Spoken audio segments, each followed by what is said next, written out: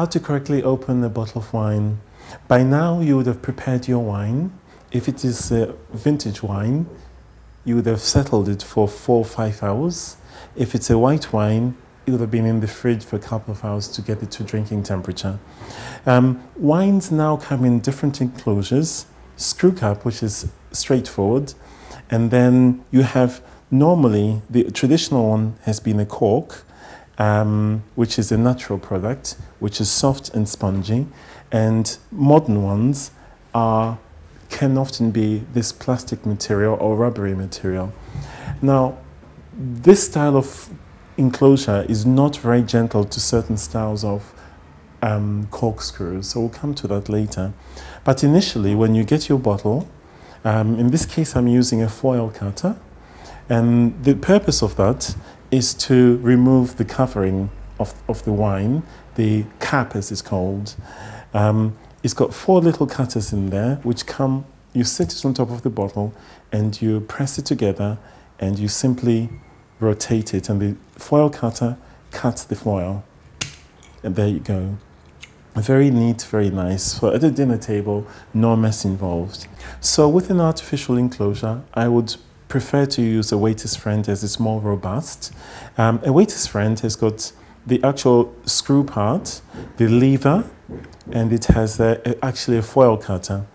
Before I use this as a foil cutter, but you can use this one. Obviously, this is more delicate as it's a naked blade. You just put it against the foil, rotate the bottle with it, and that way the foil will come off in a very similar fashion. Fold that away, and I'm ready to begin to open the bottle.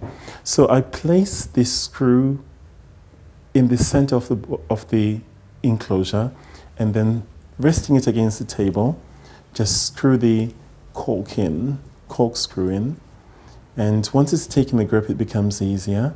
And what you want to do is to get it to a stage where the lever is, is in this position on the bottle that gives you enough movement to actually open the bottle. So I, perhaps I'll rest it on there. I carry on turning it. And as you can see, this is now nearly at the right angle to start levering out. There it is. So the first, once it's in place, pu pushing the lever part against the bottle, I can pull out my cork. You have to struggle with some of these artificial enclosures. You saw it came out quite quickly.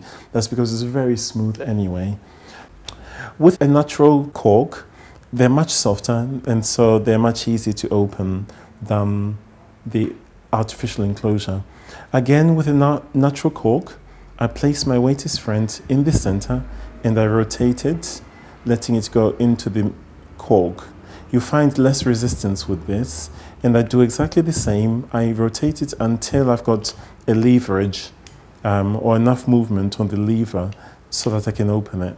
Now it's ready. Place my hand here to keep the, um, the stand in place and then I lever it out. Let's try that. Then it comes out gently. Nice. And these make a nice pop. And that's a natural cork. Still in order. Unscrew it. And you can see the cork is preserved, ready for use again a lever opener like this, one of these really advanced ones, they're very convenient, very easy to use. You open it out fully in this fashion, clamp the bottle, and then you simply lever it on and slowly off, and that will open the cork.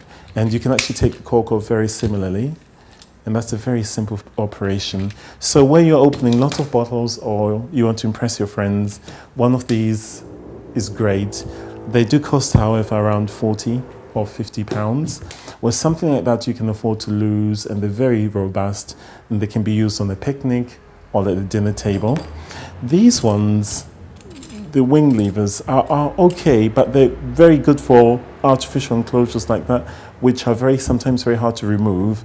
However, with a cork, because they're not hollow like the waiter's friend, which is hollow, they're filled in the center of the spiral, they have a tendency to break up the cork. So the best thing is not to use these on an old bottle or very delicate cork. So that's how you open wine bottles.